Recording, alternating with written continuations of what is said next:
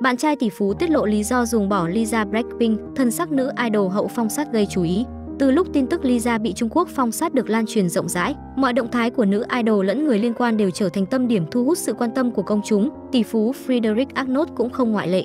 Theo đó, trang tin truyền thông Sohu tiếp tục tung ra thông tin khiến nhiều người không khỏi ngỡ ngàng. Cụ thể, một bài viết có tiêu đề Tạm dịch, con trai thứ ba của Louis Vuitton không hài lòng với màn trình diễn tại Crazy Horse nên có thái độ lạnh lùng với Lisa và cố tình xa lánh cô đã bất ngờ xuất hiện trên trang này mới đây.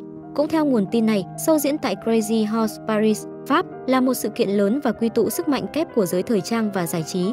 Với tư cách là con trai thứ ba của tập đoàn xa xỉ LVMH, sự xuất hiện của frederic Arnold vốn đã trở thành tâm điểm bàn tán sôi nổi của giới truyền thông và người hâm mộ.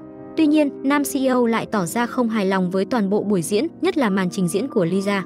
Không những thế, có thông tin còn cho biết Frederick Arnold cố tình xa lánh bạn gái tin đồn và động thái này khiến những ai có mặt tại hộp đêm vô cùng bất ngờ. Hành động của con trai thứ ba tập đoàn LVMH đã lập tức nhận về không ít chỉ trích, nhiều ý kiến cho rằng dù là người giàu có hay nổi tiếng thì cũng nên thể hiện hình ảnh bao dung và rộng lượng. Trang tin Sohu khẳng định thái độ lạnh lùng của Frederick Arnold không chỉ phản ánh sự thiếu tôn trọng giọng Kalaliza mà còn làm ảnh hưởng đến hình ảnh của bản thân và cả gia đình tài phiệt. Một số netizen còn đặt câu hỏi liệu nam doanh nhân có đang thực sự coi trọng người thân của mình hay không. Vụ việc trên khiến cho dư luận phẫn nộ và trở thành chủ đề bàn tán sôi nổi, nhiều người thậm chí còn phản ánh phương pháp giáo dục không đúng đắn của gia đình giàu có. Hiện bài viết đưa thông tin này đã bay màu trên trang tin Sohu nhưng đang được chia sẻ trên nhiều phương tiện truyền thông khác của Trung Quốc. Trước đó, tờ Sohu cũng từng đưa tin Frederick đã tới Trung Quốc công tác để mở rộng việc làm ăn. Tại đây, khi một khán giả bất ngờ đề cập tới chuyện Lisa hiện đang bị cấm sóng ở thị trường tỷ dân bạn trai tin đồn nữ idol chẳng nói chẳng rằng, thay vào đó là chỉ cười một cách chiếu lệ rồi bỏ đi.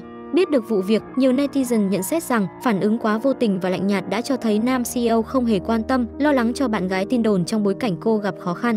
Thậm chí, một bộ phận khán giả còn đặt ra nghi vấn Lisa và con trai đế chế tỷ phú đã đường ai nấy đi. Về phía em út Blackpink, vài ngày sau khi tài khoản Weibo bị cho bay màu, cô nàng đã có màn lộ diện gây chú ý. Như đã đề cập ở bài viết trước, Lisa đang là tâm điểm truyền thông lẫn dư luận vì vướng nghi vấn bị Trung Quốc phong sát.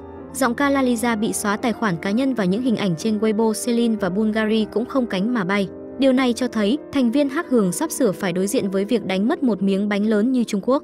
Bên cạnh đó, cô còn được cho là đã chia tay bạn trai tin đồn nhà tỷ phú sau ồn ào. Kể từ khi vụ việc xảy ra, Lisa chưa có động thái và bất cứ bình luận gì về việc này trên mạng xã hội. Đến ngày 4 tháng 11, fan bất ngờ bắt gặp nữ idol 26 tuổi đi mua sắm ở Seoul, Hàn Quốc. Dù chỉ là ảnh chụp vội nhưng em út Hắc Hường trong bức hình vẫn nổi bần bật nhờ vóc dáng hoàn hảo, đôi chân dài hút mắt. Theo nhiều người có mặt tại đó cho biết, chủ nhân bản Hit Money đã rất thoải mái đi mua sắm chứng tỏ việc bị Trung Quốc phong sát không ảnh hưởng tới tâm trạng của cô.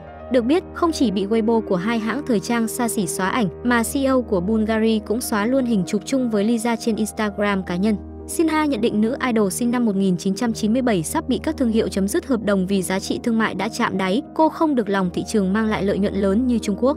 Thế nhưng chỉ một ngày sau đó, vị CEO này lại đăng tải một loạt ảnh của em út Blackpink khiến người hâm mộ tranh cãi không ngừng. Cùng với việc Celine vẫn chạy quảng cáo mới của giọng Kalaliza tại Thái Lan và Hàn Quốc, nhiều người cho rằng cô nàng vẫn đang là con cưng của các hãng thời trang và chưa bị thất sủng như Sina đưa tin. Dù vậy, việc mất đi thị trường nước tỷ dân vẫn là một tổn thất không nhỏ đối với sự nghiệp của thành viên nhỏ tuổi nhất Hắc Hường.